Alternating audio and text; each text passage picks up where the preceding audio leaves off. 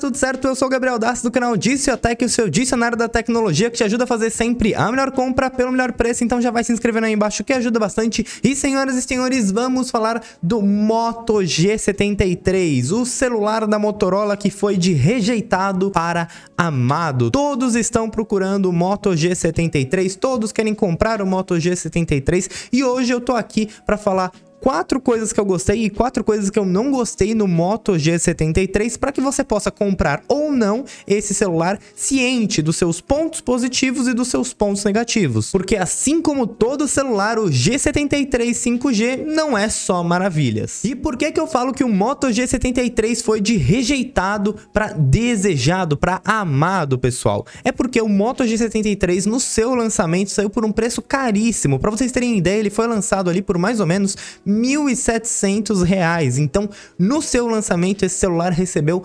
pesadas críticas, inclusive de mim, por simplesmente não ter um preço condizente ao que ele entrega. Mas agora estamos então no ano de 2024, o preço dele caiu bastante, você pode encontrar ele por 1.100 tranquilamente na internet. Então, sem mais enrolação, vamos falar de quatro motivos para você comprar e quatro motivos para não comprar o G73 5G da Motorola. Primeiro motivo para você comprar esse celular é a sua tela 120 Hz, senhoras e senhores. O G73 5G tem uma tela incrível de 6.5 polegadas com resolução Full HD Plus, então é uma tela realmente muito boa, mas o principal aspecto dessa tela é o fato dela já ter aí uma taxa de atualização de 120 Hz. O que que isso significa? Bom, basicamente as telas dos celulares convencionais funcionam em 60 Hz. Ela atualiza a tela 60 vezes dentro de um segundo. Já a do Moto G73 5G é o dobro disso. Então, ao invés de atualizar a tela 60 vezes por segundo, ela atualiza 120 vezes por segundo, o que traz para você uma sensação de fluidez muito melhor ao rodar jogos, ao jogar, ao acessar aí suas redes sociais. Então, nesse sentido da fluidez da tela, o G73 tem sim uma tela extremamente fluida. No geral, é uma tela de qualidade, poderia ser melhor, mas eu vou deixar para falar isso nos motivos para não comprar. Segundo motivo para você comprar o Moto G73 5G é que ele é barato. Ele é um celular de R$ 1.100 e não, não estou dizendo que R$ 1.100 é barato, porque eu sei que R$ 1.100 é muito dinheiro, mas mas ele é um celular, digamos assim, não tão alto custo. Em um mundo onde existem celulares que custam mais de 5 mil reais, ele é sim considerado um celular barato, é considerado um celular intermediário de entrada e principalmente quando a gente analisa o histórico de preço dele, a gente vê que ele saiu lá da casa dos 1.700 para chegar aqui na casa dos 1.100. Então ele é um celular barato, é um celular baixo custo, com um custo-benefício interessante, que pelo que você paga, entrega bastante. E o terceiro motivo para você comprar o Moto G73 5G são os seus alto-falantes estéreo. Ele tem speakers estéreo, então o som dele sai tanto por baixo quanto por cima,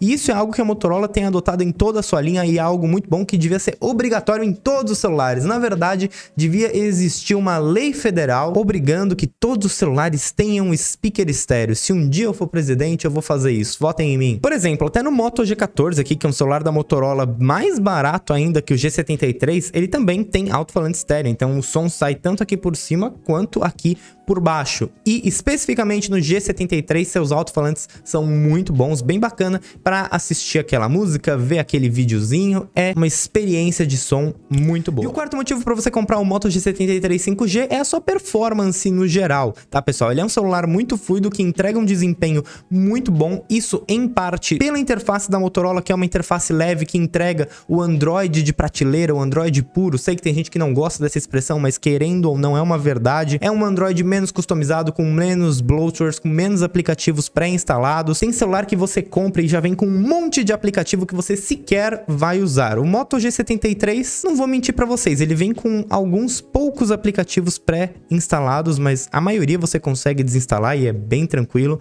E que eu me lembre, uns 5, 6 aplicativos que ele vem assim instalado, né, que não tem nada a ver. Tem celular que vem com um monte de aplicativo pré-instalado, então o sistema da Motorola, a interface da Motorola é um ponto muito positivo justamente por trazer este Android puro. E este Android puro, essa interface da Motorola extremamente leve, aliada a 8 GB de RAM, fazem esse celular aqui ser muito rápido, principalmente no multitarefa. Então, se você é uma pessoa multitarefa que abre várias coisas ali ao mesmo tempo, vai fazendo várias coisas com vários aplicativos abertos e vem aqui, vai ali, volta lá, o G73 é para você, tá? Porque ele tem bastante memória RAM, o que permite ele manter os aplicativos abertos ali em segundo plano. Então, por exemplo, você tá vendo um vídeo no YouTube ou você tá jogando e você vai responder uma mensagem no Zap, você vai conseguir voltar pro seu vídeo, por exemplo, exatamente do ponto onde você parou, sem precisar recarregar o aplicativo. E isso é uma mão na roda. Claro que ele também tem 128 GB de armazenamento, tem um chipset MediaTek Dimensity 930, que é um chipset bom, é um chipset que entrega um desempenho interessante, inclusive em jogos. Para vocês terem uma ideia, um parâmetro de comparação, ele tem um desempenho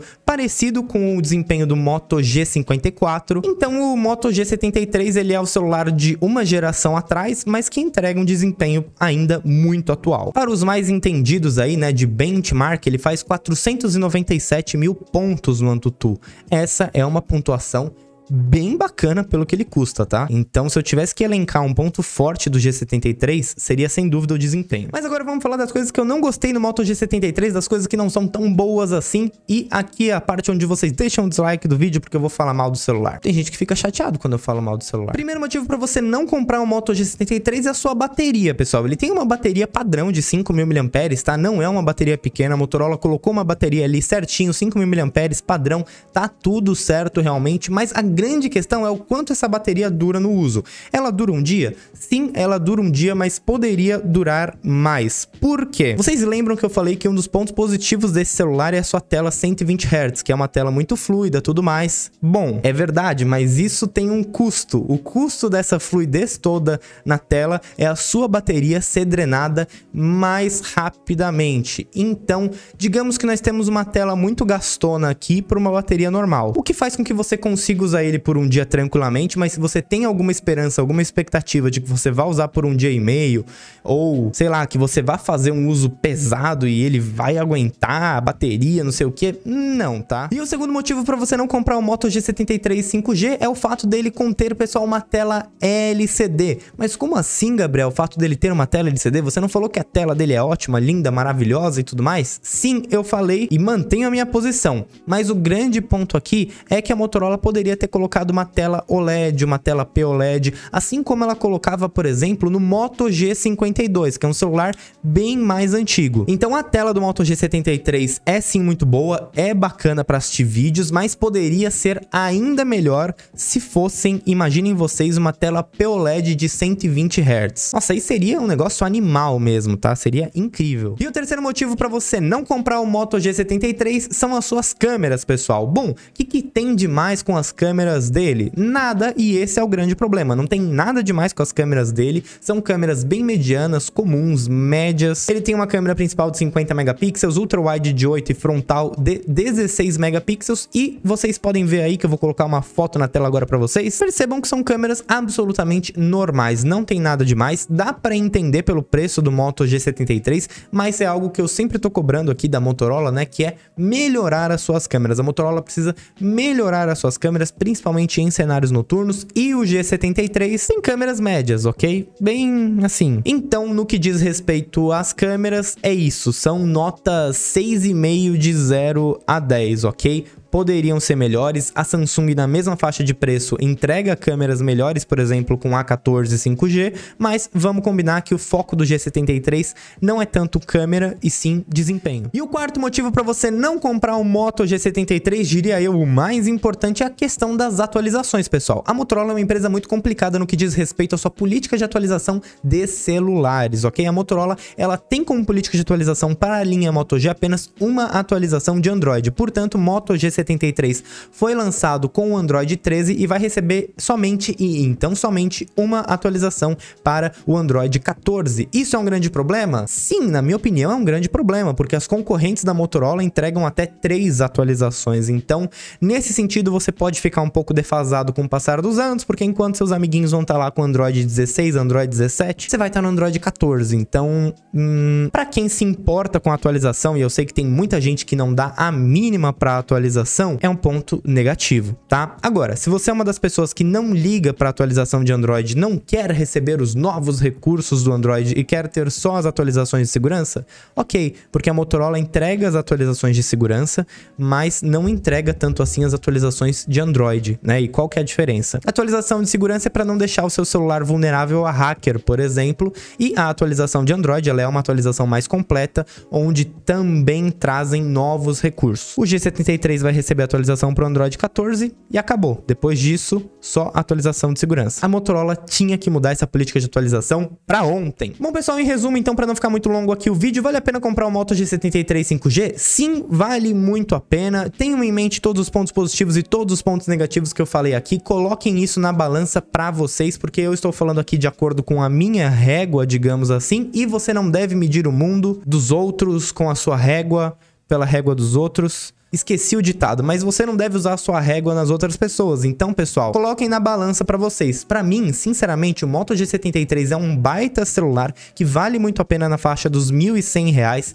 e, como eu falei para vocês, ele foi de rejeitado a desejado. Os pontos negativos dele não são nem tão negativos assim. É apenas uma câmera que poderia ser melhor, uma tela que poderia ser um pouquinho melhor, atualizações que deveriam vir mais. Mas se vocês pegarem para ver tudo que eu falei de ponto negativo dele, dele não vai atrapalhar em nada no seu uso, sendo muito sincero. Então é isso, pessoal. Espero que vocês tenham gostado desse vídeo. Se vocês gostaram, deixa o like, deixa nos comentários a sua opinião aqui sobre esse vídeo, sobre o Moto G73 5G, se você tem um, se você usa ele, se você gosta dele, concorda ou discorda das coisas que eu falei aqui. Como falei pra vocês, tá? É um celular que vale muito a pena. Os pontos positivos que eu falei dele, como desempenho, performance, preço, tudo isso que eu falei de positivo dele, é muito mais relevante do que o que eu falei de negativo, tá? Então eu gosto do G73, eu não gostava dele quando ele custava R$ 1.700, mas por R$ 1.100 é inegável que ele vale a pena. Por esse vídeo eu vou ficando por aqui, deixa o like, se inscreva aí no canal que ajuda bastante, deixa nos comentários sua opinião, se quiser comprar, link no comentário fixado.